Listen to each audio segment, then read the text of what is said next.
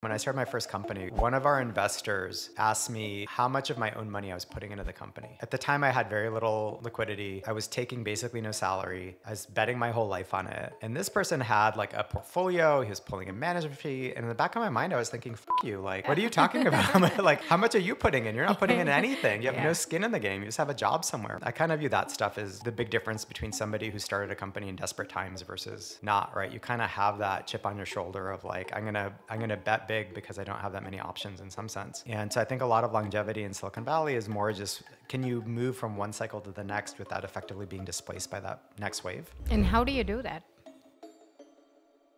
Ladies and gentlemen, this is the episode you all been waiting for, clamoring for. The comment section is blowing up. Let me do, I've written down this introduction because I wanted to do it right. We have sitting in our dining table the one and only Elad Uh, woo. Elad, you know, as the saying goes, needs no introduction, um, uh, is an entrepreneur, operating executive. He's been an investor advisor to companies like Airbnb, Coinbase, Checkr, Gusto, Instacart, Opendoor, Pinterest, Square, Stripe, Wish. There's several more on that list. Trust me. Uh, uh, he is co-founder and chairman at Color Genomics and was formerly CEO of the company. And before that was VP of corporate strategy at Twitter, which I actually forgot about uh, after Twitter acquired uh, Mixer Labs and was also product manager once at Google working on mobile maps. He's the author of the highly amazing uh, high growth handbook from Stripe Press, which I highly recommend. But this introduction does not capture how central of a figure Elad is to the world that we live in of technology, founders, startups, and investing. Elad's really institutions. Elad, welcome to the show. Uh, yeah, thanks for including me. I feel like whenever people say that this person doesn't need an introduction, and then int- and then they introduce them, they clearly need an introduction. so. I think it's always ironic. But you don't. Uh, but you don't, right? We can edit that out. You are right? special. yeah. You know, so I uh, we are in a little WhatsApp group chat, and the other day, and I used an obscure reference where uh, I called Elad uh, Tom Bombadil from Lord of the Rings, as in a figure who has been here way before us and will be here way after us. Uh, really a, va- a institution. So way to say old. Yes. Yeah. Pretty much. Politely. Yes. Yeah. Uh, but really, an, it's an institution of Silicon Valley. And, you know, maybe, you know, one big quick place to start off is how do you find the energy enthusiasm to keep doing this because you've been involved in investing startups founders for over a decade what motivates you how do you keep doing this yeah i guess there's two separate answers. I mean on the one hand i'm a techno optimist. I view technology as a force for good. And um, you know ultimately i view being participating in the technology ecosystem as a way to help drive human progress forward. And that's my primary motivator. And so i'm just excited by new technology. I'm excited by people working on it. And i'm excited by the importance of it. Um, that's one answer. The other answer is a decade isn't that long of a time in reality.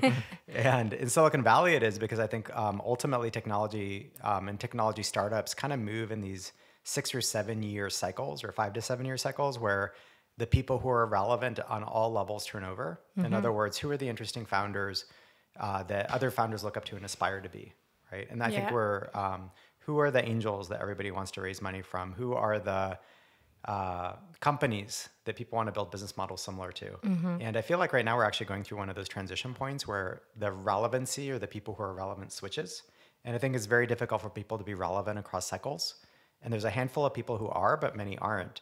And so I think a lot of longevity in Silicon Valley is more just can you move from one cycle to the next without effectively being displaced by that next wave? And how do you do that? Well, I, I, don't know if I've done it that effectively, but I think fundamentally it's just being being involved with things that are interesting, either in terms of new technologies like what's happening now in AI, and mm-hmm. coming to those things perhaps early.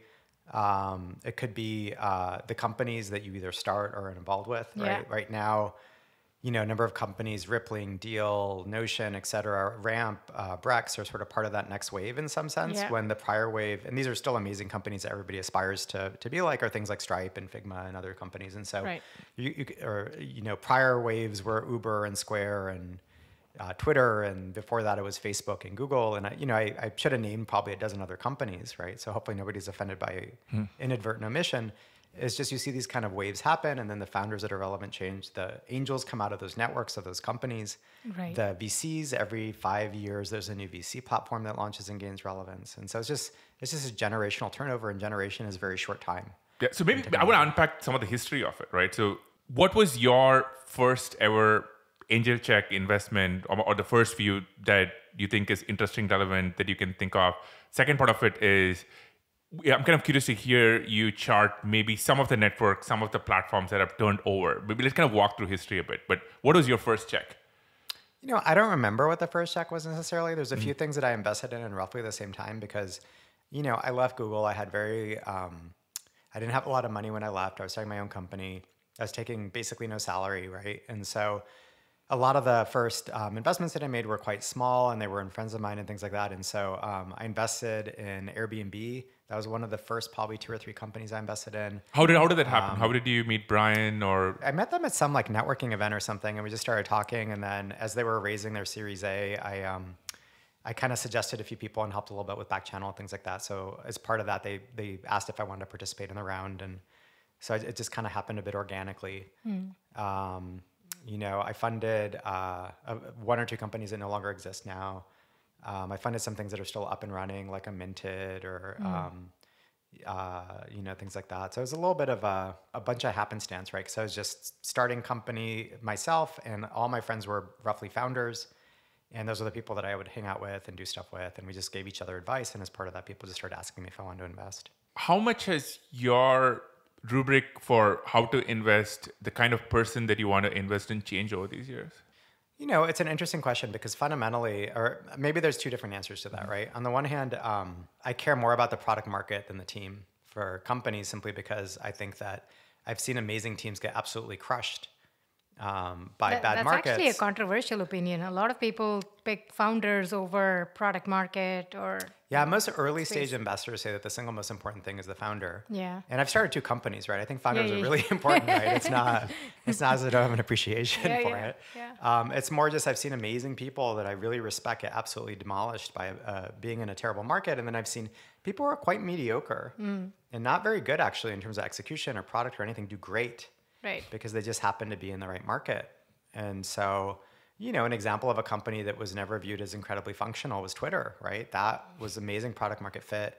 When they bought my first company, um, they hadn't been able to deploy code for a couple months or something. Right. And so the first thing my team did, we were supposed to be building all these geo features into the product. After the acquisition, was we went and we fixed the deploy queue so they could deploy, so they actually push changes to the website, right? But they had amazing product market fit, Yeah. and so it just you know it became a tens of billions of dollar company And Um, continue to have it now. and continue to have Yeah. it now. And Yeah. so, um, you know, the first thing I care about is product market. After that, obviously, it's founders, and then from a founder selection perspective, it's things like, um, you know, are is do the people learn rapidly? Um, do they have the ability to synthesize information and come to their own opinions? Are they driven?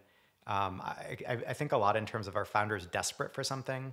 Are they desperate for a better career and better life? Are they desperate for impact? Are they desperate for a product that doesn't exist that they really want. And I think what happened over the last four or five years during COVID and a little bit before that, all the desperation went out of the ecosystem because startups became a status thing. Right. And you could mm-hmm. take out a lot of money during secondary. And so you got a lot of kind of LARPing. You know, mm-hmm. you had a lot of people kind of showing up and role playing versus like really being driven to do something. Mm-hmm. And in in the absence of an infinite capital environment, things are really hard and you need desperation to drive you. And that's why you don't see a VP at Facebook usually starting a company. It's because there's no desperation. It's huge opportunity cost. It's the opposite, right? Um, so that's one kind of approach. The other is I think of it in the context of um, it's almost like if you look at the early founding team of Apple, or just look at Apple over time. You had uh, Steve Jobs, who could basically sell anything and could think about product. You had Steve Wozniak, who could build anything, and later, later you had Tim, Tim Cook, who could like scale things and run things. And Right. And I think in the life of a startup, you need those three archetypes in some mm-hmm, sense. Mm-hmm. And usually at the founding stage, you need somebody who can build and somebody who can sell. Mm-hmm. And selling means convincing employees to join. It means raising money. It means getting early customers. It means any form of sales. And so often when I look at founding teams, I wonder, you know, do they have the builder and do they have the the salesperson? And sometimes it's the same person. And sometimes it's different people or it's sort of distributed across a team. And then later in the life of a company, if you don't have it internally, you need to bring on somebody who can be like the Tim Cook who scales it. Right. It- you actually dropped a bunch of, I think, bombs in there in the previous bit, uh, uh, which I would kind of ta- characterize as the zero rate environment, which I think is kind of the phrase everyone's been using for the last few years of the fundraising scene. How do you judge the desperation of a founder uh, when you're meeting them for the first time or at a party or in a pitch meeting? What are you asking? What are you looking for? Because everyone, I think, knows you know the right things to say they know to say uh, to never say like i'm looking for an exit i'm looking for capital everyone knows the right Yeah. woke shibboleths as uh, I actually sbf think might it's say okay if somebody's looking for an exit, right? Because Larry and Sergey, when they started Google, famously tried to uh, shop the original search engine for like a million dollars, right? Or Zuck almost sold to Yahoo for a billion dollars, right? So I think it's um, it's something that VCs say. You know, there's uh, but rea- the reality is, as a founder, you you know, before this crazy environment that we had for four or five years, you would talk about it with your friends, right? Oh, You'd say yeah. like, well, maybe I could sell this thing and like Yep. I'd be pretty Yeah. happy, right? Yeah. And so I think it's like an investor perspective, not a founder perspective. Yeah. It reminds me a lot of um, when I started my first company. Um, one of our investors um, asked me um, how much of my own money I was putting into the company, right? And oh yeah, yeah. uh, at the time, I had very little um, liquidity. Uh, I was taking basically no salary. I was betting my whole life on it. And this person had like a portfolio. He was pulling a management fee. And in the back of my mind, I was thinking, fuck you. Like, Yeah. what are you talking about? like, how much are you putting in? You're not putting in anything. You have Yeah. no skin in the game. You just have a job somewhere, right? Yeah. And so I kind of view that stuff as, is uh, the big difference between somebody who started a company in desperate times versus not right you kind of have that chip on your shoulder of like i'm gonna i'm gonna bet big because i don't have that many options in some sense By the way, I love that you brought up the company selling point because in some ways, uh, it's a level of artifice. Because if somebody came and offered you, said, you're going to be worth nine digits, 10 digits at the end of this, there'd be Yeah. no human being who would not take this seriously, right? Like you have to take this seriously and uh, everyone take it No, seriously. but So- also I think uh, you've seen founders say this, being like, "Oh, we're not going to sell for any amount," but the early employees who joined, they would be okay with it. Like Mm-hmm. they would want like a reasonable exit. I think it's a little bit disingenuous to be like, "No amount of money. This is the world's greatest company," and kind of pull that shtick. Uh, I- I, think when someone says that, it's more a sign of have they read all the right blog posts and all the, watched all the right videos, which tell you not to say that. Yeah, or how much did they take off of in secondary? Because the founders can always say that. The early employees will look at it and go, "No, don't speak for me. Like I'm, o- I'm okay with like a pretty large exit." yeah and i think i think there are occasionally rare founders who um, really view something as either a life's mission or they really just they built it because they really wanted this thing to exist Yeah. you see that in some of the ai scene right now where there's Yeah. people who truly truly want to build agi right Yeah. or uh, you see that in certain biotechs where somebody's family member was so deeply affected that they're really really trying to solve a problem Right. Um, so it does happen sometimes, but I think um, you, I think there's a real, there's real, there's real value to being disingenuous as a founder because VCs won't back you if you say, yeah, you know, if it's a short, if it's a quick exit, I'm fine with it, right?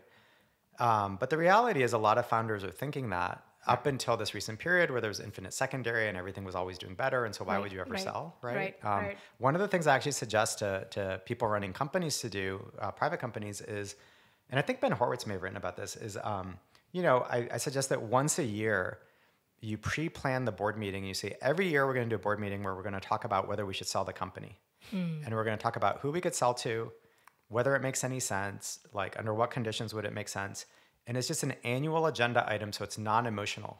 Right. It doesn't indicate the founders want to sell. Right. It doesn't indicate the board members do or don't. Right. It just means we should have a rational conversation as shareholders in this company, Right. as fiduciaries. Right.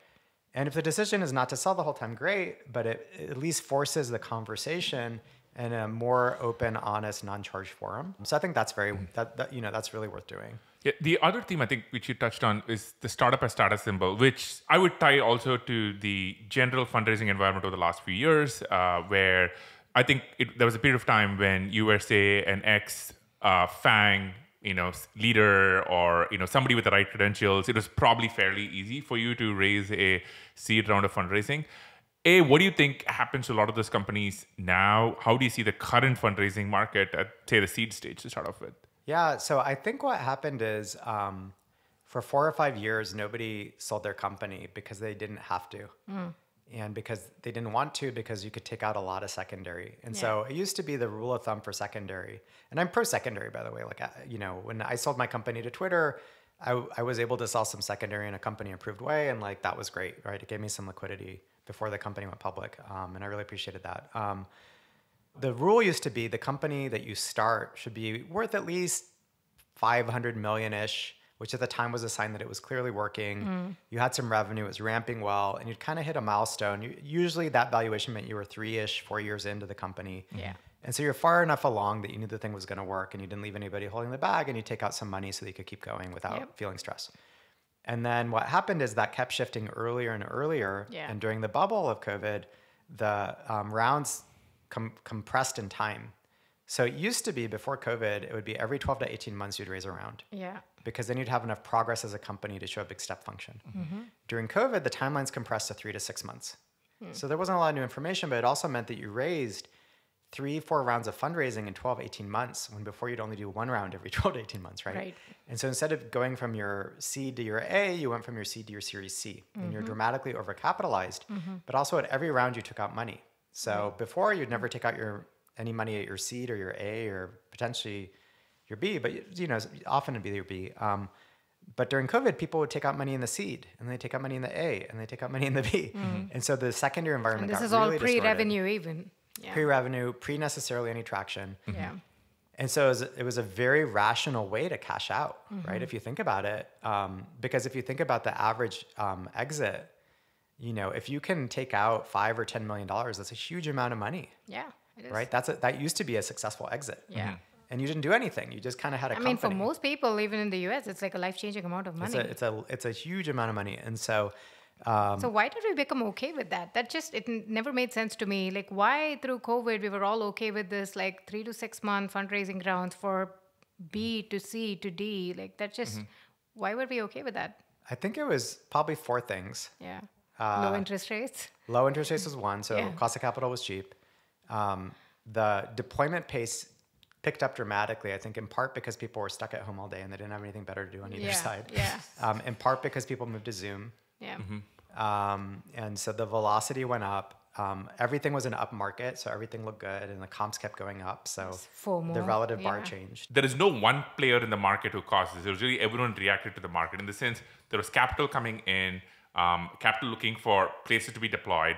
Uh, so a lot of funds, and so when you have so much capital coming in, right, like everything went up, right? Valuations went up. Uh, you know what you wound up offering to founders went up. So every actor was acting rationally given the situation. So if you're competing, you know, you could start offering a secondary, or you could start, uh, you know, you change the valuation. So everyone else starts responding to that. And if you're a founder, uh, I remember I think Stewart Butterfield uh, said this: like if somebody's offering cookie, you take a cookie. So there is not one actor who was Yeah, no, I mean the incentives to some extent, to your point, was public market valuations shot way up. A bunch of people went public. They had massive outcomes. So it suddenly looked like everything in venture worked. So LPs and venture capital firms are willing to give way more money to venture capitalists. Venture capitalists were very happy to aggregate that capital and some in some cases make a lot of money off the management fee, whether the investments would work or not. They increased their pace and velocity of investment dramatically. And on the founder side, you both had these public market comps go up, um, but also you had secondaries and incentive to drive your valuation up as much as possible. Mm-hmm. Because you were selling into the round, so you wanted the round price to be very high, mm-hmm. versus saying, "Well, I'll do something in between so that I can raise the next round," because that mm-hmm. wasn't your incentive, right? Your Right, incentive was to take right. money out. So all these things, to your point, work together, and the incentives all aligned. Um, and the incentives aligned because we had this this this COVID set of lockdowns, and then we printed a lot of money and distributed a lot of capital to try and prevent the ramifications of that lockdown. Yeah. What do you think happens to those companies now? Because it seems like there are a lot of companies who raise significant amounts of capital, you know, have varying amounts of runway, but you know they don't run, run out of runway anytime soon. But to your point, they often, um, not often, but uh, quite a few of them don't have maybe traction product market fit, but don't have the need to raise a round anytime soon. Yeah. What happens to the entire class of companies? Yeah, so I, I, I divvy it up by phase. The early stage companies will be fine, right? They'll, if you're five people and you're trying to build your first product, you'll just try and build your first product and get your first few customers, and it's fine. I actually was running a startup when um, Sequoia did their famous Rest in Peace Good Times talk. Oh, yeah, and I was yeah. a Sequoia backed company, so I went to it uh, during the Great Financial Crisis, and we were like a five or six person company. And I went up afterwards and said, "Hey, what should we do?" And they're like, "Don't worry about it. You're fine. You're a five person company. It doesn't matter." And I think the same thing is true right now for like a five person company except um, you know make sure that you make it to the next milestone in terms of revenue and all the rest Yeah. but standard advice um, if you're a late stage or mid stage company it depends on where you are right are you profitable uh, have you looked at sort of uh, different types of burn ratios or things like that like what, what are the metrics right Yeah. And unfortunately what happened is during the last two years of covid um, money was so abundant and valuations kept going hi- higher and higher. And as mentioned, the timeline compressed. So everybody got a free round or 2 So everybody was overcapitalized and many companies way overhired Yes. relative to their progress. Yeah. So it used to be you had a million in ARR, two million in ARR, you're probably a 15 person company, right? Yeah. No, no Um, longer the case. You're during- looking at like five times that now. Yeah. During COVID, you ended up with like 100 people Yeah. with the same Yeah. amount of revenue. Yeah. and you had a billion dollar valuation and you had a hundred million dollars in the bank when really you know maybe you should have had a 50 million dollar 100 million dollar valuation Mm-hmm. and you know 10 million dollars and so all the behavior shifted you way overhired and now those companies are stuck with enormous overhead high burn uh, really screwed up cap table in some cases Mm-hmm. and very little revenue potentially no product market fit so i think we're going to see um, a subset of those companies be fine and grow at it and Yeah. be great and then we're going to see a lot of carnage and that's going to probably start um, around Q2, Q3 of this year and last about Hmm. a year. And the reason it starts then is because most of the money that was raised was, was in last year. 2021. Yeah. And then Yeah. some people did a bump last year that gave them another 12 months or whatever. So Yeah. For the ones that only raised in 2021, they had two to three years of money. So that's going to be right around middle of this year to middle Yeah. of 2024, Yeah. right? Um, if you have a bump, maybe it extends it a little bit more. Um, and then people are often um, misdoing things like layoffs, right? So, Hmm. for example, um, if you have a million in revenue and 100 people, maybe you should cut your team down really dramatically, right? 30 people. Yeah. 25 people, right? Assuming you're growing. Yeah. And if you're not growing, and if you're not growing, um, maybe you should shut down and return money, or maybe you should sell the company. no one no one's Um, going to do that though. I, I think mm-hmm. part of it I think is just we've set these companies uh, in a poor way culturally from the get-go, right? Like this wave of this cohort of companies. I think if you look at them, when an employee joins, the first question they ask around is like, how many people are there? And the founder then is like, we have 50 people. It's like, oh, okay, yeah, you must be legit. Like the questions that are being asked are not, how much revenue are you making? Um, you know, like, yeah, you're a Series C company, Series D company, but what, like, you know, yeah, I is think it that's working? changing. I think that's changing. I think um, I think also a lot of people have now seen enough of their friends get laid off Yeah. that they're expecting the layoff at their company. Yeah. And I think it's an opportunity for the leadership of companies to cut really deeply if they Yeah. need to. Yeah. Not every company needs to, right? Some Yeah. should just be growing right now. Yeah. Um, but if you need to, the problem is if you cut 10%, you're not really making any change. Yeah. One, one of my friends told me like the magic number everyone's like either they pick six percent or thirteen percent, and It's you know, 13%, yeah. For Uh, and um, yeah. and why is that? Because I think there is this trend where people are cutting, then they find out they haven't cut enough, then they have to do it again, which is brutal to morale and Sure. all sort of other dynamics. So Yeah. if you're a founder, CEO listening to this, and you know that you might have to do some layoffs, what do you tell them? Yeah, so I've had these conversations, right? And often you'll go through the projections for the year, and um, many people do not have a true downside case. I was talking to another um, like well-known investor about this who does a lot of SaaS, and his view was that you know a lot of people have 2x growth in their model, and they think they're going to do 1.8x. Hmm. They're like, oh, our down version is 1.8x, and he's like, they're going to grow 40% this year Yep. because their NRR, their net, net revenue retention, will shrink because Yeah. people are cleaning up the number of seats. Yeah, They're not exactly. adding SaaS people. businesses, yeah, Right. yeah. Or they're shrinking their teams. And so your customers are going to shrink their budget and shrink Yeah. their team. So your retention is going to go down and the new business is going to take longer. Yeah. And so suddenly instead of a 2x thing with the 1.8, 1.8x downside, you're at 0.4 growth. Yeah, But. Mm-hmm. your team is set up to do 1.8x, which means you have way too many people. Yeah. And so one is you should scenario model the disaster scenario. Yeah. Um, but also, you should look at it and say, a, how much cash do I actually have, and how do I get there? How do I get to, Yeah. you know, a long enough amount that I can outlive this period? Yeah. Um, but also, maybe how how do I have enough money to make it to profitability or something else? Because um, people may not fund you again. Right. I talk to a lot of people who say the worst case is we do a down round. Yeah. And the worst case is you go out of business, right? Yeah. It's nothing to do down yeah. And yeah. so you model it out and you say, okay, how deep of a cut should I do? And one company I was talking to felt that they should do 50% Hmm. and they wanted to do 20%. And I said, well, if you know that you should do 50%, why are you doing 20%? Yeah. And they said, employee optics. We're worried what the team will think. But the team will be happy with an outcome that is somewhat positive than just complete destruction of value, you know. Yeah. And the second and third rounds of layoffs that you'll have to do Oh, yeah. after you burn extra cash. Yep. Yep. Right. So you're making it way less stable of a company for everyone in the long run because you're Yeah. worried to do the hard thing in the short run. Yeah. And so I think that's back to the um, desperate founders tend to be more um, uh, uh, what's the right word without I'm, I'm looking for the right word tend to be more willful about some of these things because um, desperation drives hard acts. And i think that you know the the we had a very easy period for a while on a relative basis right? Startups was still hard but it was easier than it had been in a while uh, with some counterexamples of hiring and things like that. And so i think um, there's certain things that sometimes you just have to do if you really want your company to be healthy. Yeah. The other version of this, I think, is kind of interesting. Is we've been seeing a lot of layoffs in the public companies, right? The big, you know, the huge companies, the Googles, the Metas, uh, and so on. Um, you know, first is you know one of the stats that really blew my mind yesterday. I knew it, but I saw it compared was how much these companies had grown as a percentage of employee base over the last few years. Like some of them had doubled from a really big Yeah. base over the last uh, couple of years. So a, you know, what do you think is going to happen in these large FANG companies? Um, and B, do you think culturally this is going to mean more being hardcore, quote unquote, where you're doubling down, you Mm-hmm. are focusing more on just the core parts of your business and things which maybe Sure. seem distractions or maybe not as core get thrown out the window? Yeah. Yeah. I think that if you look at um, the mama companies, right? Meta, Alphabet, Microsoft. I know you're trying um, to socialize you that. can't meme this into existence. I keep trying. Because Fang doesn't really, A, Fang sounds really like badass. Ominous. Yeah. Um, but also, like, It's not even accurate anymore. I just also think Netflix's model is so radically different from these other companies. Yeah. Just, well, FANG is incorrect because there is no Facebook is no Meta. Mi- Microsoft's not even in there. Uh, yeah, that's why it's so- mama. So anyhow, um, if you look at these companies, you know, uh, Meta went from 44,000 to over 88,000 people. And then it laid off 11,000, right? Yeah. That- and by the way, 44,000 to 80,000 was two years. Two years. Yeah. And so laying off 11,000 basically took it back in time eight months or something. It didn't Yeah. change anything, right? Uh, Google, or I guess now Alphabet, went from um, 110 to 190,000 people over two years. wow. And then they laid off 6%, which is nothing, right? Again, it just didn't matter.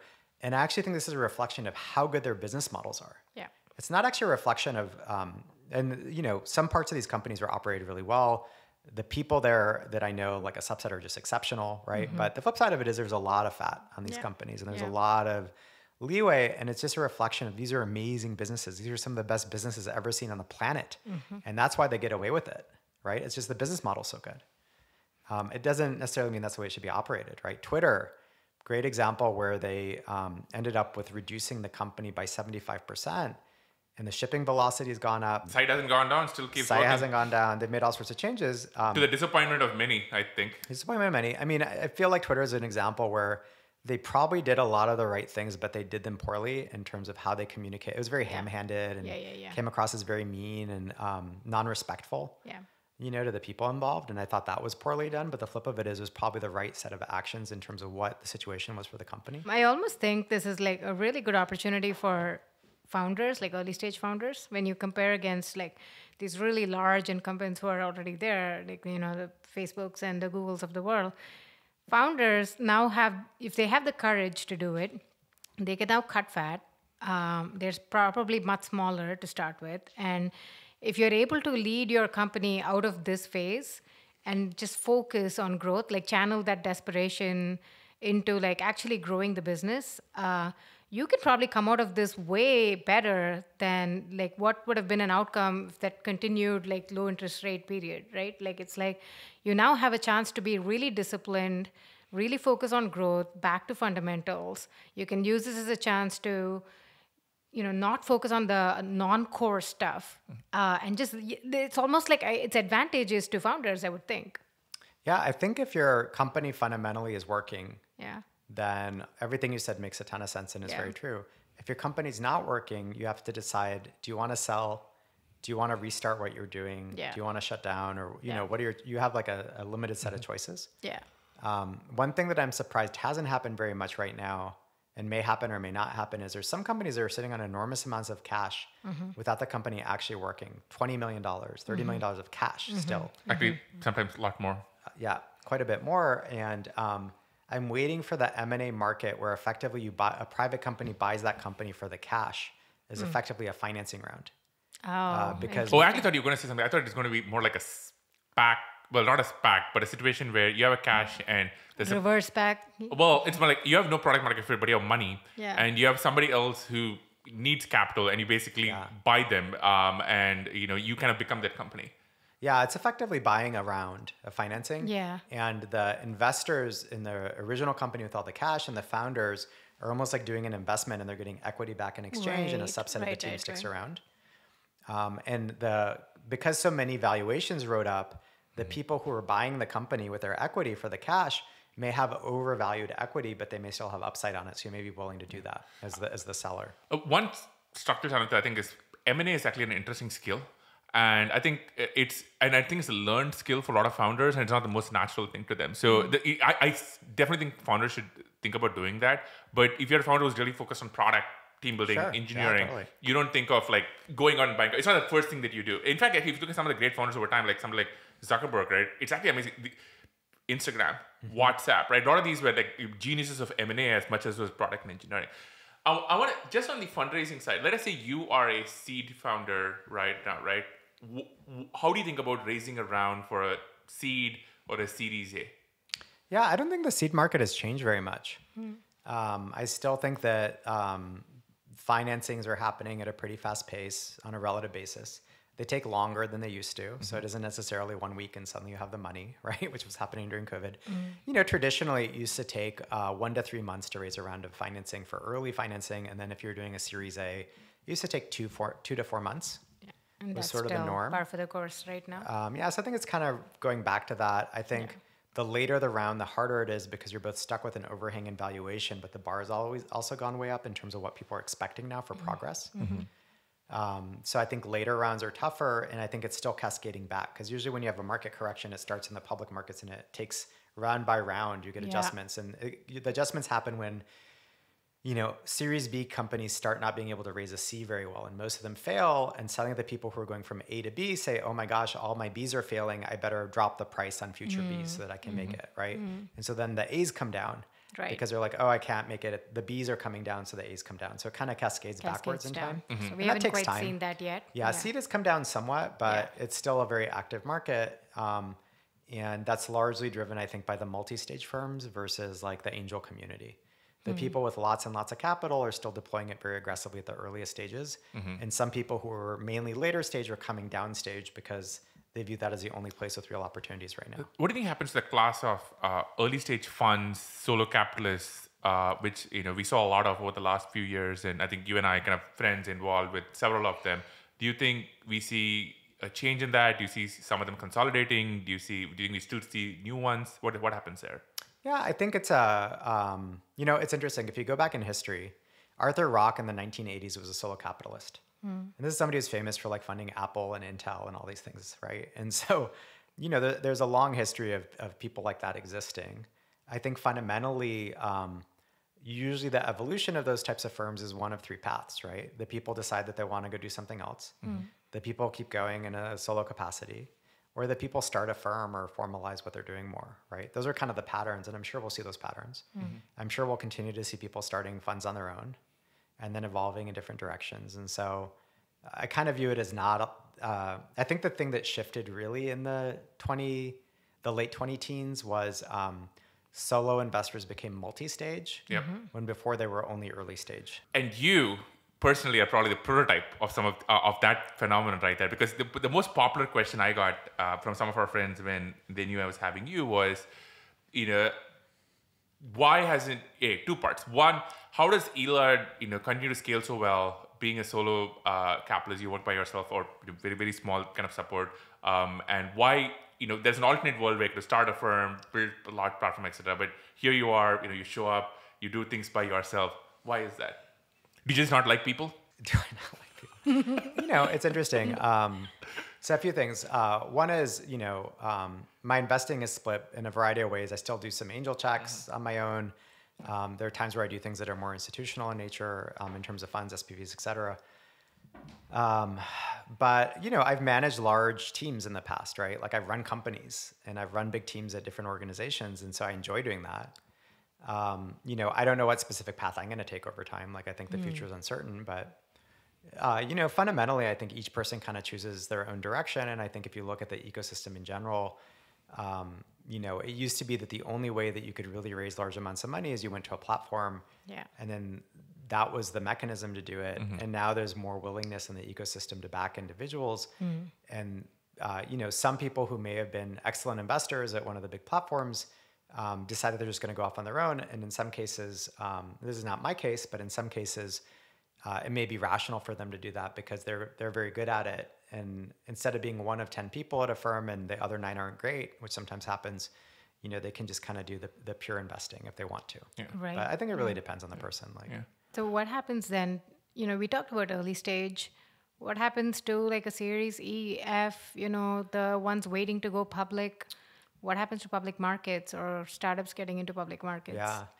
Yeah, I mean the the window to public markets is um, reasonably closed right now, right? So it's hard for companies to Right. IPO or direct list, um, and uh, you know I think a lot of people are waiting for that to reopen, and the question is when does that happen and under what circumstances, and Yeah.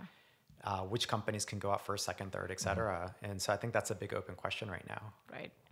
Uh, one last thing before we kind of switch gears is um, we talked a lot about layoffs, etc. And I think a lot of people on the other side of layoffs, they have been laid off. Their friends have been laid off, or they're worried about being laid off. They're thinking about career paths, um, skill sets, and this is coming after you know several years where if you had say like a PM job at Google or at Facebook, you pretty much thought you were sa- safe, right? Like you know you Sure. you knew what your comp was. You thought you were gonna you know plus RSUs, you're gonna make that so for those folks who are listening and you know obviously if they're impacted we feel uh, uh, really empathetic towards them or just nervous Sure. how should they think about this time I think it really depends where you're at. I mean, if you look at Google, they added 90,000 people and then they reduced by whatever it was, 12,000 or 14,000 or the exact number. So they net added, what is that, like 70,000 people ish? Yeah. That seems pretty safe to me. I don't know. So I think um, it really depends on where you're at. I think the reality is, um, you know, particularly in startups, people will continue to reduce the teams, and it's going to accelerate. In my opinion, that could be wrong. Mid of this year through mid of 2024, and so there'll be a period where the market is really unstable, and um, you know, some companies will continue to grow and will be kind of the winners and will benefit from that. They'll aggregate all the best talent. That was Google in, you know, 2002, 2003, all the all 2001 through 2003, 2004, because all the companies in the dot com era were laying people off, and Google sucked up all the great people, mm-hmm. and they sucked up all the founders, and that's why they did so many amazing things. So companies will have that opportunity for the companies to continue to grow, and so to some extent, if you can land at one of the true breakouts, one of these aspirational generational companies, mm-hmm. that's going to be an amazing place to be, and it's going to have enormous talent density. That's where mm-hmm. all the best people are going to flock to for the next year or 2 and that can make the rest of your career. Um, also, if you look at tech talent in general, it's been very sparse for the rest of the country. Yeah. And so if you look outside of the core tech industry, lots and lots of enterprises want to hire tech talent and they just haven't had access to it before. So I think there's going to be lots of homes for people who have been trained at a Google or been trained at a well-known startup Yeah. because the rest of the country's hungry for human capital.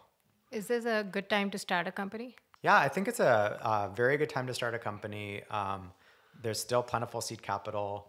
Uh, there's still big technology problems to address. There's big technology waves like AI and SaaS that are still happening. Um, you know, talent will be easier.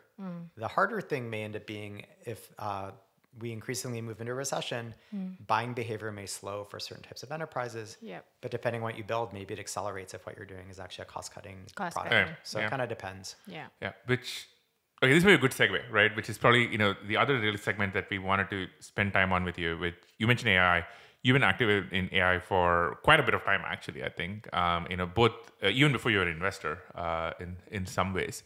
Um, so uh, maybe one good place to start is we're doing this recording this in january 2023 sum up maybe the ai startup state of the union there as you see it right now. So, you know, from from a background perspective, um, to your point, you know, I worked at Google, and at Google, I did two things. I started the mobile team, and then I worked on machine learning uh, for ads targeting. Or I should say, I was working on the ads targeting system, which were very machine learning driven. Uh, I was a product manager, so I wasn't actually writing the code for it, but I was involved with some of these early systems. And then I left to start a company that was a data infrastructure company, the Twitter bot, and then at Twitter, one of the teams that um, worked for me was a search team. So again, very sort of ML centric. And then I Which, by left- the way, weirdly enough, several years later, I took over. So, Oh, really? That's yeah, oh yeah, so, all sorts of yeah. Yeah, yeah. Everyone has had like some time at Twitter. Yeah, yeah. Everybody, it's like, uh, yeah, exactly. I won't make the analogy that I was thinking of. And then, um, you know, I started Color, which was doing, um, which was applying certain aspects of machine learning to, to genomic data. And then I invested in AI for about a decade, and for a decade, nothing worked. Um, all the value in the AI ecosystem basically went to incumbents, right? And uh, that was things like Netflix recommendations and the Yeah. Facebook newsfeed and. Alexa from Amazon and all these things. But the startups in that era, most of them just didn't yield much. Why do you think that is? You know, I think it's a few things. I think one is um, it wasn't good enough. Yeah. You know, it was better Yeah. technology. Yeah. And in the hands of an incumbent that had distribution, it, it you know, if it makes something 2x better, that's great. But it wasn't 10x better where Yeah. suddenly you can change the nature of the product and the experience relative to an incumbent. Yeah. And so you had this enormous incumbent wave of, of Mm-hmm. ML adoption that actually was really valuable for everybody except for startups. Right? Yeah. Yeah. Yeah. I mean, it's because AI historically has had a few of these AI winters. Uh, uh, if you go back even like 20, 30 years. The, tech, the AI waves you're talking about were technology waves, right? Where people kept saying we're making progress in AI, and they were doing different types of neural networks over time. Or, Yeah. You know, way back in the day, it was like in the 70s, it was like expert systems and like ways to be predictive that way, which wasn't quite AI, right? Um, I think part of it too is the bar kept going up, right? You had like helicopters and planes that could land themselves in the 80s and 90s, right? Like it, there was progress, but the bar for what was considered AI kept going up. And you saw this also in, in AI p- applied to games, right? You're like, oh, AI will never be able to beat chess. And then you beat chess. And then you're like, oh, AI will never be able to beat Go. And then you beat Go. And then AI will never beat diplomacy and human interaction games. And then, you know, Noam Brown does his research at Facebook, right? And so Yeah. the bar keeps progressing as well in terms of what people consider to be the bar. Yeah. Um, and so I think that's one aspect of it. Yeah. Um, I think uh, the other aspect of it is we had um, two really big architectural shifts in ML models um, over the last, I guess, seven years now. In 2015 or so, diffusion models were really invented, which was the application of certain types of statistical physics models to AI. And that led to um, all the image generation products. So that's stable diffusion. That's why diffusion is in the name, right? Um, that's Midjourney. That's all these, uh, you know, companies. And then separate from that, you had the transformer um, architecture, Yeah. which was invented in Google in 2017. Yeah. And that was the architecture that really underlies the understanding of language. And so th- these are what people call large language models or foundation models, right? And so we had two big technology breakthroughs. Whenever you have a technology breakthrough, it takes some time, right? So I think it wasn't until 2019 that people really started re- implementing transformers, right? I don't know if people, if you've seen that chart of um, number of ML and AI papers over time. Yes. Yeah. Yeah. Yeah. But it's this giant exponent. And so in Mm-hmm. all that noise, you have to pick out the architecture that's interesting right, Yeah. from all those papers. Yeah, yeah. So it takes a little bit of time. You experiment with it, you scale it, you try it, you try some use cases, and suddenly some interesting things start to happen. Mm-hmm. And also, there's very strong scale effects, for example, with the transformer architecture that really emerge when you have massive scale of data that don't emerge at lower levels. So, um, so it just took a little bit of time, and then um, you know, OpenAI basically bet the farm on um, these transformer-based models. So that was GPT, right? General Purpose Transformer is what GPT stands for. And eventually, you had GPT one, two, three, and now we're on three point five, and you know, four will probably come out at some yeah. point this year. But one interesting phenomenon there is we had Noam Shazeer on the show pretty recently, fantastic episode. And it's kind of interesting to see Google um, or Noam at Google and others at Google come up with, you know, the transform model, self-attention, um, and kind of what has become, you know, the canonical paper, uh, attention is all you need. But then it's actually a startup, uh, OpenAI, which went and ran with it. So there's some, some interesting unpacking there about like big company culture and startups bringing innovation to the scene. Yeah, yeah. I think a lot of it was um, conservatism, right? Because uh, Google had the talent, the capital, the compute, the um, data, all the resources to really build these things, and they built them internally. So, for example, LaMDA is a Yeah. chatbot that Google Yeah. had quite early, Yeah. and it's it's similar to uh, ChatGPT now, Mm-hmm. right? And Noam, um, who you mentioned, left to start Character Yeah. which is a chatbot company, I think in part because he realized that it was so compelling, but Google wasn't really moving to commercialize it, right? Mm. And so if you look at that paper of the eight authors on it, six of them have started companies, Right. Right. right? And so you had this sort of exodus of people go and then say, okay, we can't necessarily ship something here for now, so let's go do it somewhere else.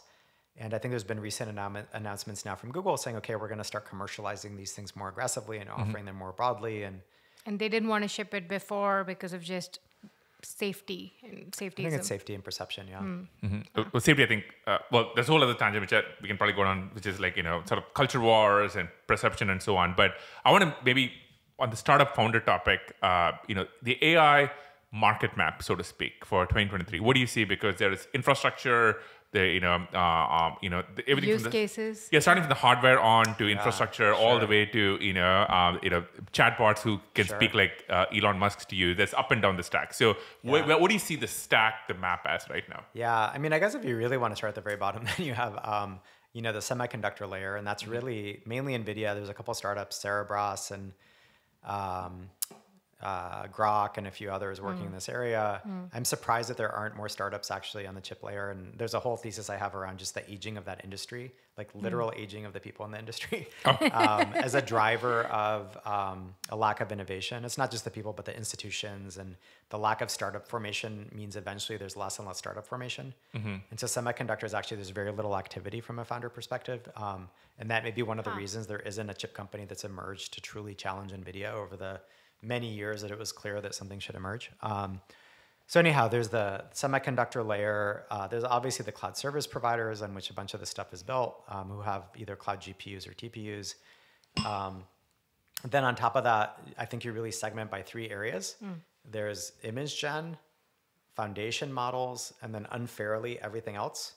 And everything else is everything from bio modeling and protein folding on through to robotics. Yeah. And they're completely different and completely different markets, but I'm going to put them aside for a minute Yep. because everybody's focused on the first two. 1st two. Yeah.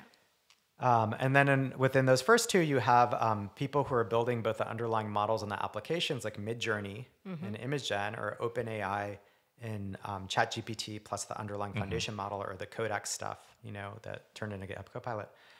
Um, but you have this this sort of platform layer of AI platforms, right? And that's OpenAI. That's probably going to be Google. That's Anthropic. That's a few other companies. Um, and then you have a bunch of apps built on top of that. And those apps may be things like Jasper, which is tools to help marketers write content. Yeah. It's um, Copilot from GitHub to help you write code. It's Yeah. it's all these sort of tools to help you translate these these models into actions. So one, this is super fascinating because the, I think in some ways, you know, the question a lot of people are trying to unpack is where does value, maybe two part question. One, where does value accrue to various parts of you know this map that you laid out? Um, especially with the second part of the question, when you have some of some really large companies, Google, Microsoft, obviously, uh, you know, uh, making deep moves. Some of these require like very deep capitalization. So where do you see value accruing? How do you see the the mama players? Mama. Mama. I don't, can stick to Fang if you uh, want. stick to Fang. Uh, uh, uh, I'm trying to meme this. I'm trying to help you, like. Yeah, uh, thank you. I appreciate uh, uh, uh, you know, the mom players to jump Yeah. into this. Yeah. So um, I'm gonna make a prediction, which is probably wrong, right? And so We're going to put this on Twitter. There are a lot of predictions that are wrong. No, it's uh, great. I'll be like Twitter Damus. So I think um, I would kind of split. Uh, there's basically three real potential future worlds for the API layer. Because Yeah. the reality is, apps, of course, are going to exist. Yeah, yeah. Right, and there'll be different apps for different things, and some of the value of the app, like maybe the AI sales tool will end up being Salesforce, or maybe it'll be a new player, right? But there'll be some apps that incorporate this stuff in a rich way, and will create entirely new categories for legal and accounting and medicine and all these things. And in other cases, we'll be competing with incumbents, and sometimes the incumbents will win, and sometimes they won't, right? So I'll put the apps aside because I think there'll be enormous value there, mm-hmm. and I think that's non-controversial. At least I'm, I'm assuming so. I guess at one point of controversy there is people often say, "Oh, if it's just a wrapper around OpenAI, it's not that interesting." and it's not defensible as a business. And I think that's actually a super interesting area because the workflow built around that wrapper is actually the important part. Yeah, that's the important piece. Yeah, yeah, Yeah. I mean, it doesn't matter if it's a wrapper or not. I think there's just a lot of these. I look at it as just solving for mundane human labor and just like filling out fields, filling out description box, like Mm-hmm. you know that stuff. It doesn't matter if it's a wrapper on OpenAI. If somebody's solving that entire workflow use case for me, I would use it. Totally agree. Yeah, Yeah. and and some people think otherwise, so that's why I think like Yeah, yeah, it's. yeah. I, some people think it's controversial, and like it seems reasonable. It's fine. Yeah. Um, on the AI layer, on the API layer, um, there's three potential worlds. One world is it's TSMC, Taiwan Semiconductor Corp, like where all the value aggregates to one player with enormous scale, and it's not really a competitive market. And you could argue the most likely candidate today for that would be OpenAI because they're the only one really in market. Yep. There's Anthropic and others who are now coming, and, and if Google enters, obviously that changes.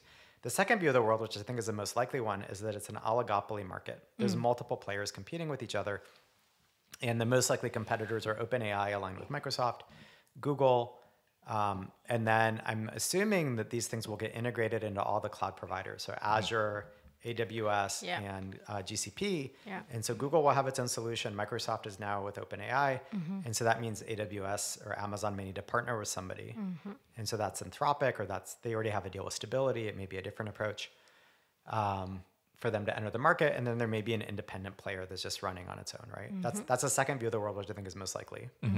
And then a third view of the world is, well, we're gonna ha- scale doesn't matter, and the cost of building these things won't keep going up. Some friend of mine keeps saying that's his contrarian viewpoint on this. Um, and therefore, it fragments into a bunch of niche models doing very specialized things. And there's a few big, giant open source models, and that's that's the future. Um, I think that may be the future in a very long time from now. However, you want to define long time in technology cycles, because I think the most similar analogy to all this is the semiconductor world, where in the 90s, 80s, 90s, 2000s, the microprocessor on your computer was highly differentiated if it was one generation ahead. Yeah. In other words, Intel was always a generation ahead of Ahead AMD of and others. else. It cost 10 times as much to buy that specific chip. Mm-hmm. It was very proprietary. You built a fab, a factory to build these chips that cost billions of dollars. And each fab cost more than the last one. So it went mm-hmm. from 100 million to half a billion to a billion, et cetera. And so you had a real capital moat. Nobody could mm. enter the market, right? And the, the most recent generation of chips everybody would buy would be super expensive. And then a generation or two later, it's 10 cents on the dollar or a penny on the Yeah. dollar, and everybody could use it for everything. Yeah. I think the models are going to be the same. If you assume that GPT-4 from scratch would cost, I'm making up a number, 50, 100 million dollars to build, um, with all the errors you make the first time around, whatever. And then G- a GPT-5 equivalent is 200 million, and GPT-6 is 500, and GPT-7 is a billion, or whatever curve you want to extrapolate. Uh, that means eventually you have these big capital moats. Uh, But each earlier generation model is going to be dramatically cheaper to, to train. So if you have GPT-7, training a GPT-5 or GPT-4 equivalent may be a million dollars Right. at that time. Right. right. And so that means that all the use cases that those Will be two generations behind or so. one take on the you know the second scenario, the one it, where it requires that where it's going to become an oligopoly, and you know cap and maybe the ability to raise capital is actually even a moat in itself. Um, is it's somewhat maybe depressing for startups. Basically, it's a view of the world where you know there are a couple of folks who raise several hundred million million dollars, um, and there's only a few kind of places where you can probably do that from. And then everybody else is really locked out, which is kind of a different world than the one where everybody could raise a seed round and then have a real go at Yeah. it. But you can do that in image gen, right? And so training an image gen model is half a million or a couple hundred thousand to a couple million dollars, right? Like, um, I think Emad from Stability tweeted once that you know one version of Stability that he mentioned uh, of Stable Diffusion that he mentioned costs like 600k in GPU or something to train, right? And so the image side is very cheap and it's going to be commoditized faster in some ways than the, these big language models, and that's why earlier on I segmented that. Yeah. I said yep. these are very different uh, market segments. The architecture underlying them is different. The amount of mistakes you can make is different. If you Mm-hmm. swap two pixels in an image, who cares? If you swap two words in a paragraph, it could change the entire meaning. Yeah. Right. The fidelity is different. There's lots of changes. Oh, right? use cases on top, the applications you can write on top are also look they are very different for both of these, Yeah. right? So So going maybe the top of the stack, you know, what are and this is kind of a question which gets rolled out often, but I'm curious to get your take on it. Like, what are app level use cases that a excite you, b that you don't think enough people are thinking about? Yeah, I mean, there's a ton of them. I think fundamentally, anything that includes highly repetitive um, white collar work or email work or whatever you want to call it, I think, uh, or spreadsheet work, you know, all those things are going to be. Um, and by email work, I mean people who spend a lot of time in their email, Oh, yeah. or in a spreadsheet, or at a coding terminal, or you know, uh, at a laptop in one form or another. Like a lot of that work will have workflows wrapped around AI, and that's going to be um, shifted over to an application right? And so I think there's tons of stuff. It's it's a huge part of our economy, right? Yeah. Um, it's medicine, it's um, parts of education, it's it's all the professional services, accounting, legal, et cetera. Um, it may be consumer apps around search and maybe social products. Um, it's a lot of different things. And so uh, I think there's an enormous amount of room right now for innovation because of this technology shift. yeah. And that creates a huge opening for founders. And it's a lot cheaper now to do that. And uh, also, since we've never done it before, there's so much training data that's manual that you can feed. And eh, and it's like with this current environment, it's cost saving, which is incredibly lucrative. Like value prop is like very aligned with all of these companies who want it. So I, I see like that to be the first big set of use cases that will like catch fire. Uh, Yeah, it's a great point. Yeah, and, and code is a good example of something Yeah, that immediately yeah. started working. I mean, Copilot is probably the first large modern AI rollout at scale. Uh, get a GitHub Copilot, I would say. Yeah. Yeah, I think that's probably true. That I mean, Jasper supposedly is at pretty good scale. Hmm. The image gen stuff is at massive scale, right?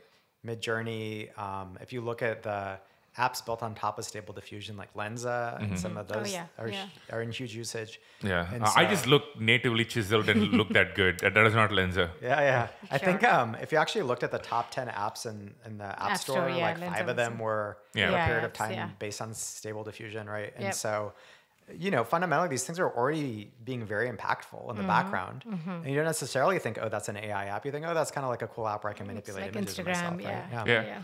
Um, one question I think a lot of people would have when you mentioned the white collar uh, workflows uh, being replaced by AI is what happens to human beings who were actually doing those workflows and you know which now GPT four or four point five or five can actually do them for you. Yeah, it depends on the field, right? There's lots of fields that are actually understaffed that this will just help with. So, for example, certain aspects of medicine, Yeah. you don't have sufficient staffing, or nursing, or other areas like that. Um, you know, it's funny in the prior wave of AI, one of the big things that everybody was talking about was self-driving cars and trucks and how that was going to displace all the truck drivers. And I remember actually being invited, like I don't know how many years ago now, six, seven years ago, because I'm an investor in one or two of these self-driving companies, um, to an event, and there was like senators there who were like, "What do we do with all the truck, Truck drivers? What are we going to do with all the jobs?" Yeah. And in hindsight, two things were happening. One is the average age of truck drivers then were in their mid 50s. So a lot of mm. people were going to retire. Young people didn't want to be truck drivers. There was going to be a huge hole in terms of labor markets. And so having this self driving technology was going to probably be a net positive, right? Yeah. Um, so I think sometimes these things are very real and very disruptive, and sometimes they're overstated. And the real question is when in the person's career are you impacting it? Is it an mm-hmm. augmentation versus a displacement? Right. Mm-hmm. Right. Um, how do you think about um, the broader world? So, say for example, anybody around the world through their phone could get access to the level of healthcare that you could get at Stanford, right? You get the best cardiologist in the world, you get the best cancer specialist in the world, and it's all through your phone and through an AI. That's Yeah. incredibly That's powerful. incredible. Yeah. That is such. A, I I love that because that's such a techno optimist view of the world. In some ways, and it's kind of the heart of what yeah, we do. no, I mean, and, and I think to Elad's first point on some of these are understaffed. I, another way to put it is like there are people who don't want to do this. Like, you know, we just don't have enough people who are willing to do this incredibly boring work. And uh, it's like filling out specific forms, documents, whatever. Like, it's just not. It, there's just lots and lots of people who are like willing to do literally anything else, get like re-educated on something else, pick up new skill set, and that's kind of why you see this like labor gap in available like demand versus supply, right? And I think if you're able to bring in AI to go solve that gap, it solves a problem for you. And I don't think the right access to take on is like jobs and what happens to jobs being taken away. I think that's like one way to look at it, but it's not like the central way to look at it. Some of these are just really understaffed and don't have enough people. Maybe one last thing on AI. Uh, how, how do we know that this is not yet another AI summer to be followed by AI winter? Because there has been similar hype in the past when we're kind of talking about like history. Like, w- w- what is Yeah, different sure. now? Yeah, I remember um, when AlexNet came out on the machine vision side, I always said, okay, like this is, there's Mm-hmm. going to be a dozen interesting startups here. And a lot of the value there again went to the incumbents, right, in terms of um, aspects of machine vision. But there are also startups that got up and running in, in biotech and other areas that use machine vision in different ways. Um, uh, yeah, you know, I think fundamentally the reason this time feels different is because the technology basis is so much stronger. And you already see large scale use cases starting to kick in, like Copilot and like some of the image gen stuff. And so you know there's a real need here. And so minimally we know that there's going to be a few probably very large companies or outcomes from this just off of that, Yep, yep. right? And Yep. so it's a little bit pre-baked, I feel this time. The other space which uh, you've been spending a lot of time on and think a lot about is energy. Uh, curious, when did you get started in, in energy? Because that is not something, you know, AI, everyone in Silicon Valley pays attention to. Yeah. Energy, I think not, I think more and more people are starting to pay attention to it, especially nuclear, but not historically. When did you start getting interested in it? Yeah, and I wouldn't say that I'm deep on it. I just I would say I've had an interest in it for a while. So um, I remember like before I started uh, Color, me and a friend um, who's gone on to do some very interesting things. I'll tell you who it is after uh, this.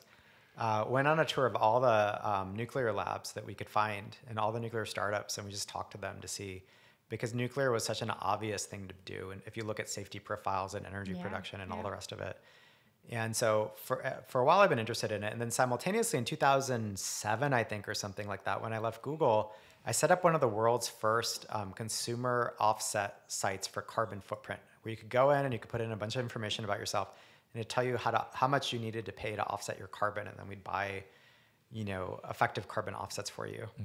And so we launched that and we got like $20 worth of um, business. I think my mother went on the website or something because people didn't really care that much. And so I was interested in these. we now, should- now should- it is super yeah. hot. The whole carbon offset. You, Yeah, you should now make it a people are more requisite to pick up your uh, Davos badge to use that product right there. yeah. and and and now, I mean, you you could have been funding some trees being planted in Brazil. Could have, could have, Yeah. should have, would have. Right? and so, um, and so I was really interested in this dual thing of like climate and um, or carbon emissions and then energy. And if you assume that there would be some impact of carbon levels going up, and by the way, if you actually look at the data, what is uh, what year did um, we peak in terms of uh, carbon dioxide emissions per capita in the U.S. or when will we peak? The first question is: Is it in the past or is it in the future? Uh, I am going to be an optimist about all the things that have happened and say it's probably in the past. So can I pick 2010? 2010. What do you think? Ah, no, I think it's more like like industrial revolution types, like you know, way back. I oh think wow! it's Okay. like Uh, oh, okay. All right. fifties, sixties, or something. I don't know. Yeah, it depends on your metric, really. Yeah. You know, one point of view is it's effectively 1979, at least for parts of the Western world. Okay. For the U.S., uh, we're now, and COVID is probably a distorter, so I want to see what this data look like. Right. Last year, we were basically um, at the same levels as the 1920s in the U.S. Wow. Okay. Uh, per, per per capita, Okay. right? Not overall, Yeah. um, because we have a growing population. Okay. So true industrial then- revolution time frame. Yeah. Yeah, wow. Yeah, and then you You're can also make arguments around well, some of that production shifted to China, so you have Yeah, to look yeah, at that, yeah. but right. But Yeah.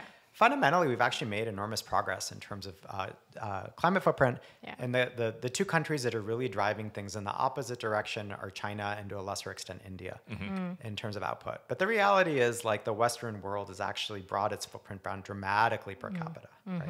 Yeah. and that's never talked about. So anyhow, I got interested in this stuff. I started looking at nuclear because nuclear is one of the most rational ways to actually uh, create large amounts of abundant energy. Wait, hold on. You should explain that because I think uh, you know that's actually we're going to have more guests in It's, the it's future. so to hard to reconcile that with shutting down nuclear reactors. Yeah, well, I would say Yeah, okay, we're going to get more sense, guests on our show to talk about nuclear, uh, and we're talking to a few. But I think unless you're kind of read a bit about this topic or kind of maybe spend some time paying Sure. attention, there is a prevailing view which is nuclear is danger, right? Chernobyl. Mushroom clouds, Chernobyl, Yeah, yeah, Fukushima, yeah. but that's not. The, well, let, I'll let you explain. Yeah, Like, why do you say it's the most rational? Yeah, it's kind of interesting. If- If you actually look at the history of nuclear energy, um, the if you look at surveys of the U.S. population, the U.S. population was very positive on it hmm. until the mid 1970s, when the oil lobby plus the green movement tried to shut it down, and they were ah. very effective in creating this perception that it's dirty and that it's dangerous. Hmm. Right. And it wasn't until the 80s when I think you had like Three Mile Island and things like that that it mm-hmm. really like they, they use that as an example to try and drive home the point. If you actually look, uh, people should just go to the Wikipedia page on nuclear accidents over time. Oh yeah, I've Um, seen it. The yeah. to- so the total number of deaths from nuclear over time, from nuclear accidents, are minuscule. Mm-hmm. You know, uh, Fukushima, it was um, I think one person actually died from the. Radiation. But, but it wasn't from the radiation radiation. It was from the. I Yeah. think if I remember, something happened later. It was from the evacuation. Yeah, there's some people who died from the evacuation who were elderly. Yeah. Like it's a very small number of people who've actually died. And if you actually do the math, more people per year are likely to be dying falling off of roofs installing solar than have died uh, from nuclear accidents, right? And so you end up with this very distorted view of safety. And that's purposeful, right? There's an agenda to try and shut down nuclear capacity. And you look at some countries like France, 70% of their energy production is still nuclear, and they're fine. yeah. You Yeah. don't hear about French nuclear accidents happening on a regular mm. basis or any basis. Well, I think this is super interesting, okay, because I think this cuts into. Let me make this podcast a little spicy here, right? This cuts into two topics I think a lot about. One is things which should not be polarized politically, left or right, becoming polarized. Sure. So, for example, one would say that if you know the idea of having clean energy is a more progressive leftist cause, you would think that you would probably be in favor of all things nuclear. But that's often not the case. Like when you often think nuclear, it is often more coded conservative or to the right. That's one interesting. That's actually why did that happen? Yeah, I don't know if the right is pro-nuclear. Um, I think the left is definitely anti-nuclear, but it's possible the right is a little bit anti-nuclear too, right? Um, I don't think there's a. I haven't heard of such a thing as a strong consensus in any political group that's pro-nuclear, except for maybe some centrists who are just like rational thinkers or something, right? Because uh, fundamentally, the accident rate is low.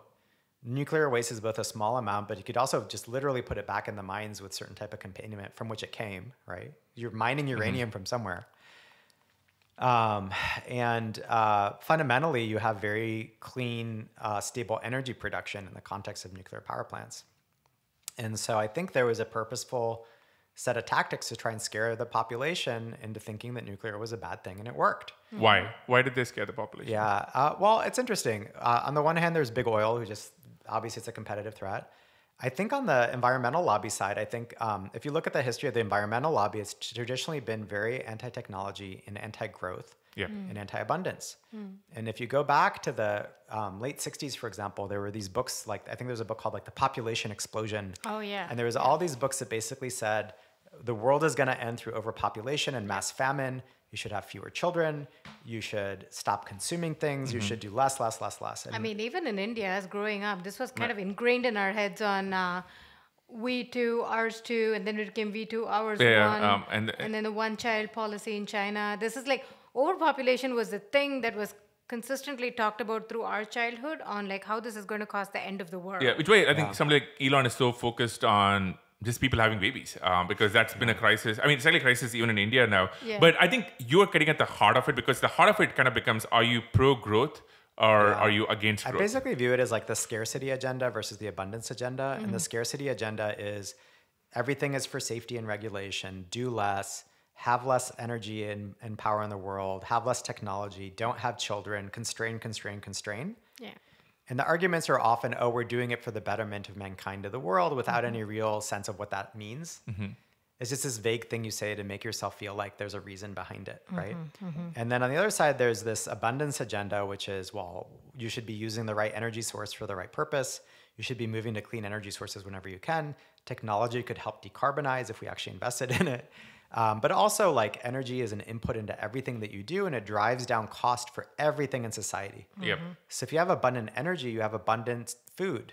Mm-hmm. You have abundant um, compute. You have abundant everything in life, Like right? Mark would say, I will not eat bugs. Yeah, We Mark a whole episode Oh, on yeah, that. that's a great episode. yeah. But- Ignoring bugs is just abun- uh, energy abundance creates abundance, and uh, everything being less expensive. So it's a giant deflationary force. Yeah. Mm-hmm. And it's interesting because um, right now, a lot of the climate movement, and again, I was very early into doing things for climate, is uh, you'll literally see articles of you shouldn't have children because of climate change. Oh, yeah. I, yeah. And that's just silly, right? And so I think I'm really We've on the- literally talked to people, our friends who believe in this. It just, I can't. It's like we're in different planets. I can't even imagine how a rational person, incredibly educated, qualified, can make a statement like that. Sure. And then you bring up nuclear, and probably that same person is anti nuclear. Oh, yes. And so it's a bundle of beliefs. And you're like, well, there is a solution.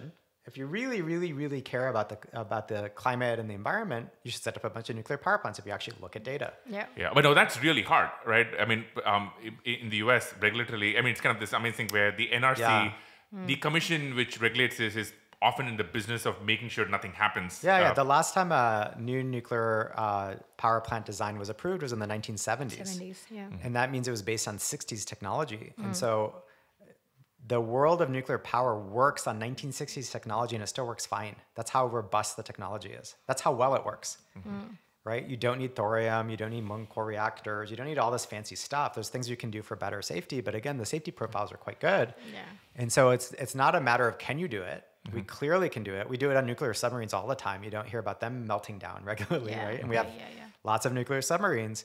Um, it's just a matter of will. Yeah. There's another interesting geopolitical angle to this because if you look at the what's happened in Ukraine, and as a fallout of that, uh, you have, for example, you said France, uh, you know, which you know made a long-term call bet on nuclear, which is proving to be incredibly smart. On the other hand, you have a country like Germany or other parts of Europe, which you know made the fateful decision, one would say, to shut down all the nuclear efforts, and now literally are in the process of cutting down forests to you know to burn them. Yeah, for they're energy. they're they're burning um, trees and coal because they shut off their nuclear power plants, which are zero like people thousands of years ago, which is Yeah, no, it's it's insane and it's huge carbon footprint. And so again, you're you're kind of doing the wrong things for what you claim are the right reasons, but they're the wrong reasons, right? And so Mm-hmm. uh, fundamentally, it's it's back to this is a political agenda. This is not a rational agenda. Mm-hmm. This is not actually trying to solve a problem. This is trying to contort things around a political viewpoint. And So- that political viewpoint, I think, is that scarcity agenda. So if you're a founder, though, um, I know that there are a lot of interesting companies in nuclear, etc., Sure. but there's still like a big regulatory overhang. Yeah. if you're a founder, what's the outlook here? Yeah, you know, I think it depends on which part. Do you mean for energy or do you mean for um, climate? Uh, let's think about energy first. Yeah. You know, um, I think energy is a little bit tougher. Obviously, we've made huge advances in solar. Uh, you know, we've seen a really strong cost curve there. So that's been sort of a positive angle.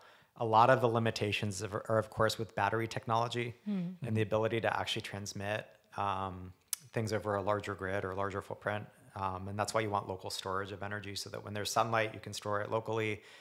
And when um, you know there isn't you can then you know use that for local transmission uh, so you know a lot of it falls more into the realm of like material sciences or business model than it does into like software although there are a bunch of companies now trying to build software for um, everything from like electric car utilization to, all- you know all sorts of different things. But um, you know fundamentally it feels like a lot of these Yeah. things have to do with regulation or material sciences. Have you been following the, the recent advancements in uh, in fusion? For example, Helion has had some Yeah. I've been following it somewhat. Um, you know, my sense is everybody's working towards uh, larger and larger prototypes with the hope that eventually these things can be commercialized.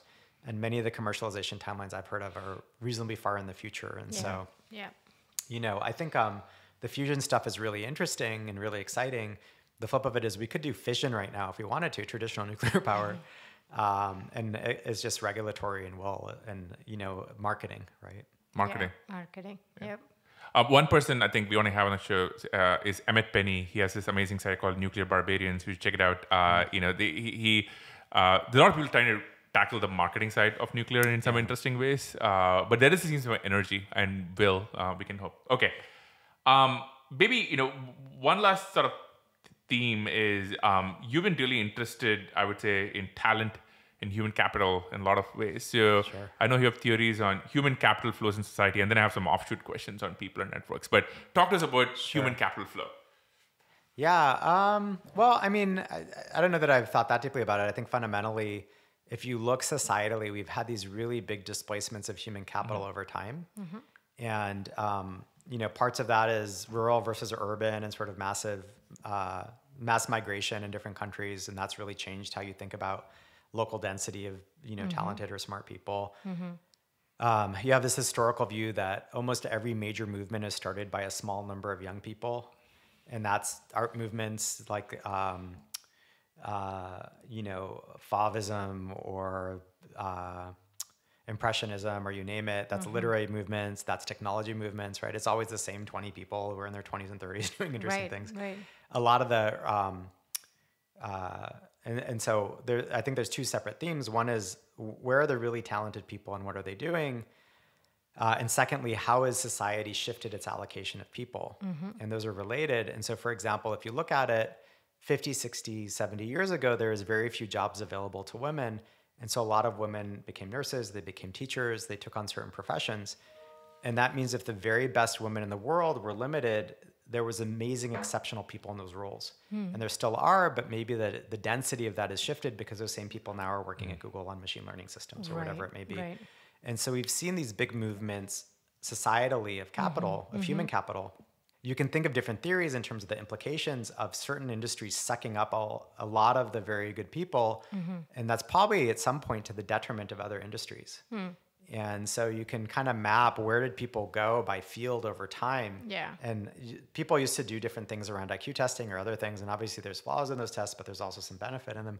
And you can see that in certain fields, the average IQ has been dropping over time mm. because people have been migrating out of certain fields into other mm-hmm. fields, right? And so what does that mean societally? And how Yeah. should we think about rewarding certain professions so that we pull human capital back into certain areas that are now potentially lacking it? If we truly believe like software is eating the world Mm-hmm. and everything's going to be software enabled or it already is Mm-hmm. to some extent, and in that case, then people moving into tech and like the ROI on like intellectual horsepower Mm-hmm. is really really good right like you know for like x number of people coming in Yeah. y industries will all move forward isn't that a good thing for like concentration in technology as such Up to a point, I mean, don't you want really, and I'm not saying there aren't, but don't you want really smart people in government? Don't you want really smart people teaching your kids? Don't you want really smart people as your physician? So there's lots and lots of areas where I want really smart people. Right. I'm not saying they're there or not there. I'm just mm. saying you actually want a spread of really smart people throughout society for all sorts of functions. If you take the extreme view of that and you say, what if every single smart person was magically just at Google? yeah That'd be really bad for society, right? Yeah. Um, but the free market will take care of Well, I that was going right to say, this, this really touches on is capitalism the best allocator of human intellectual and if I don't have good teachers for my kids, I guess I would be willing to pay more for that one teacher theoretically, right? But that's not Yeah. quite what's happening societally.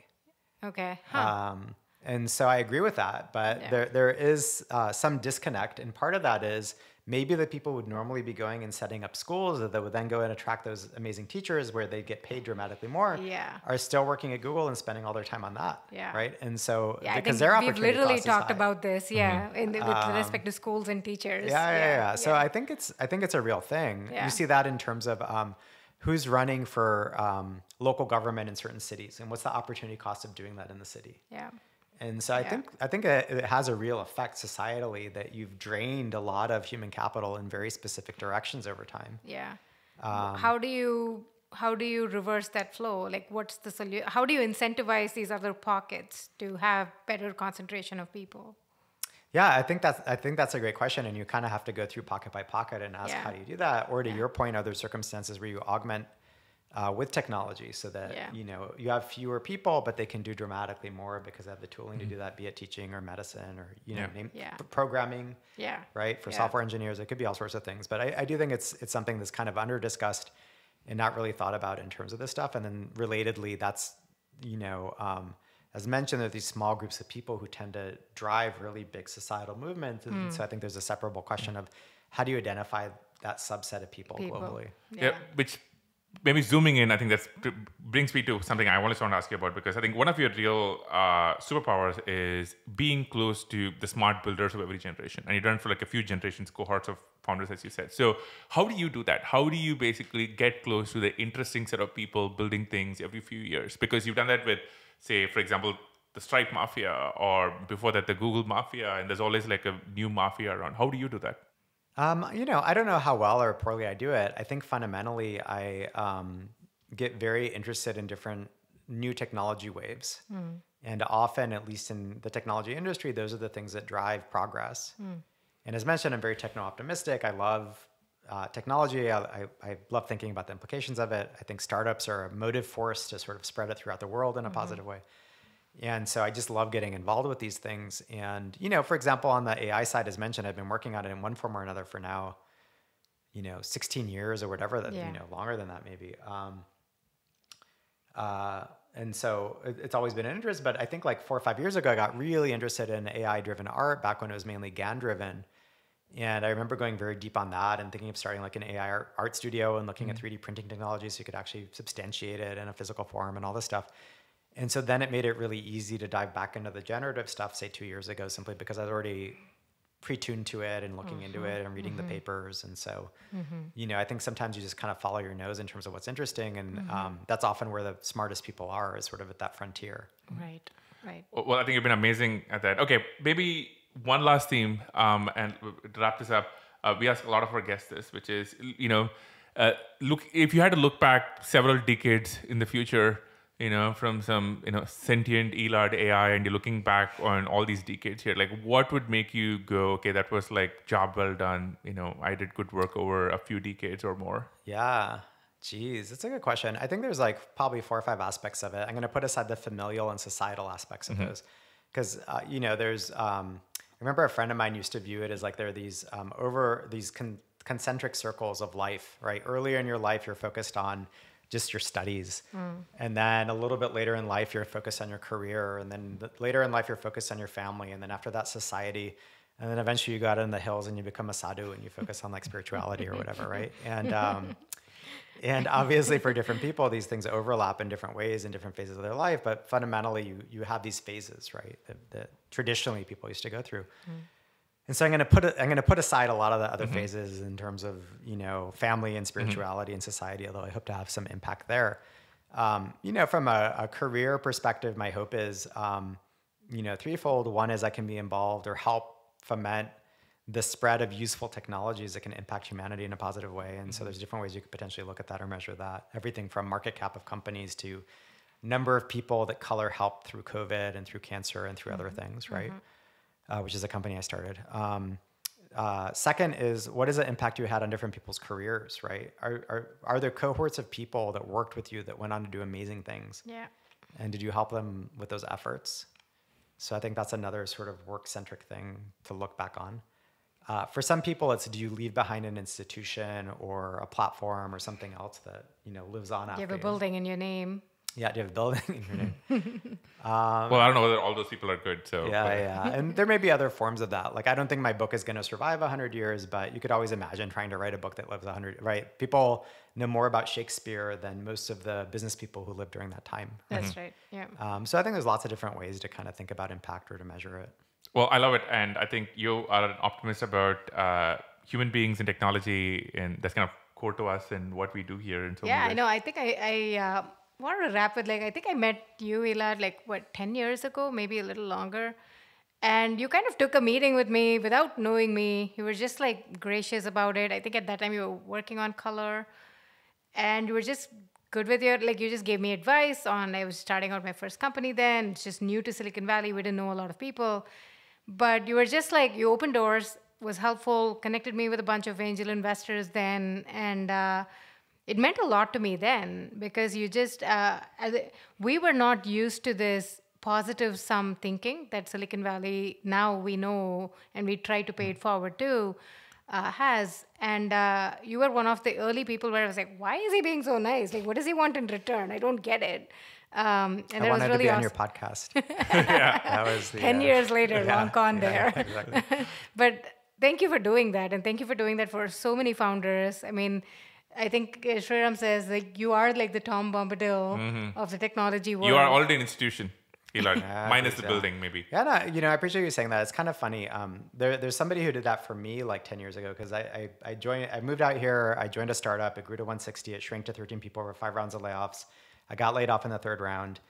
And, um, you know, there's this prominent investor who, um, uh, at the time introduced me into a bunch of startups and effectively helped me stay here because I had no money. And I was like, if I don't get a job, I'm out. Like, Yeah. I have to move away. yeah And I sent him a thank you email a couple years ago. I said, thank you so much. That was so meaningful, blah, Yeah. blah, blah. And he wrote back and he's like, I don't remember that. yeah So, so I feel like that's just the ethos of like Silicon Valley. And I don't know what the lesson to take from that is. Yeah, I mean, he said, "Oh, it's nice of you to say that," and you know, I'm Who glad are that- you? know, no, no, you know, remember who it was, but what do you like, want? he's like, "Oh, thanks for saying that. I didn't realize it was that big of an impact. I was just like, Yeah. you know, trying to help out this company or whatever." So like, you know, I think I think um, Silicon Valley or technology in general is built on that ethos. Yeah. And it's hard for people to understand it. And I also think when you have people LARPing, they don't necessarily contribute to it. But I do think there's a core of people who think this is like a good thing to work on yeah and a useful thing to do. And therefore, these people all tend to help each other. yeah Eli, Mr. Silicon Valley, right there. Thank you so much. This was All a pleasure. thanks for having me. Thank you. thank you